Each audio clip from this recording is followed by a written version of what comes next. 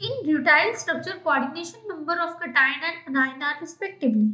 So rutile structure is basically TiO2. इसमें अब क्या होता है Ti के जो आयन है ठीक है फॉर पॉजिटिव वो हमारे प्रेजेंट होते हैं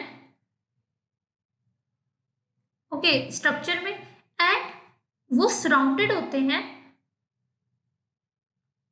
six O two negative ion से देखो इसके around six O two negative ion इस तरह से ऑक्टाहेड्रली प्रेजेंट होते हैं, ठीक है?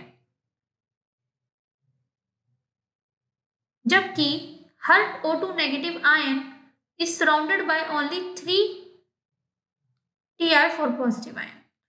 और हर ओ टू नेगेटिव के अराउंड तीन T I two positive ion होते हैं। Arrange at three corners of a plane triangle, ठीक है?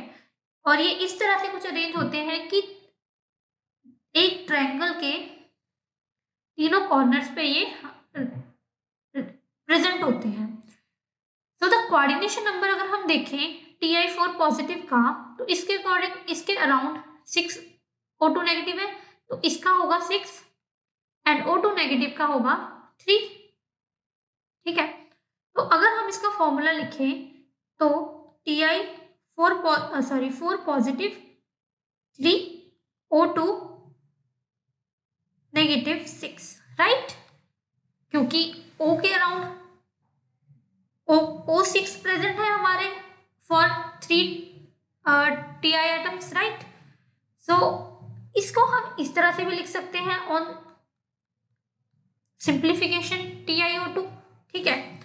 तो कोऑर्डिनेशन नंबर की अगर हम बात करते तो कोऑर्डिनेशन नंबर हमने अभी निकाला टी आई का सिक्स एंड ओ का three so A is the correct answer